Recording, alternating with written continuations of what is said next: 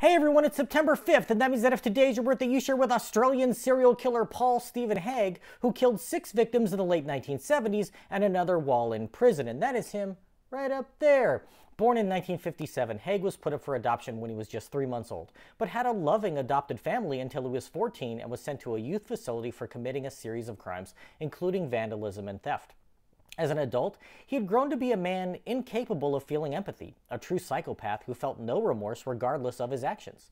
He was locked up for committing a string of armed robberies in 1977, and when he was released the next year, he shot and killed the proprietors of two establishments while robbing them. By 1978, Haigh had told some of his friends about what he had done and decided that they knew too much and had to be eliminated.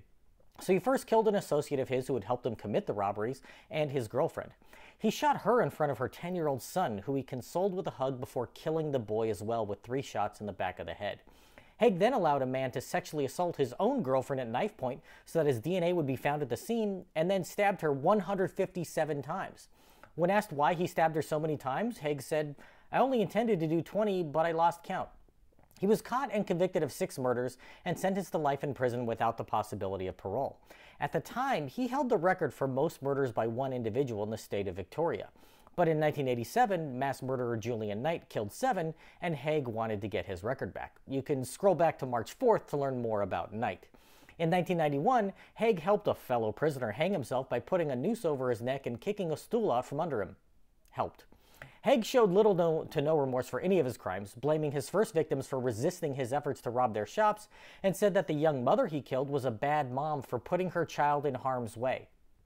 He wrote a book while in prison in which he says that the loved ones of his victims need to get over their inadequacy and get on with life. In recent years, he has softened his stance in an effort to be given a chance at parole, but so far judges haven't been convinced that he should ever be released. Haigh currently sits behind bars and will likely die in prison. If this is your birthday, I hope you have a great day. Leave me a comment so I can wish you a happy birthday. If you know someone whose birthday it is today, send them this video so they can find out all about their birthday twin. And to Paul Steven Haigh, I say, happy birthday, you bastard.